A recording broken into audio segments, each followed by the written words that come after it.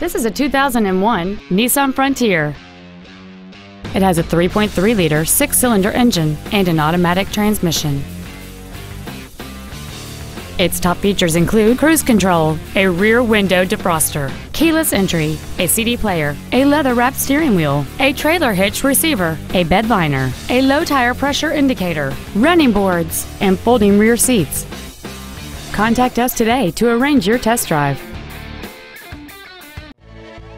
Wray Ford is dedicated to doing everything possible to ensure that the experience you have selecting your next vehicle is as pleasant as possible.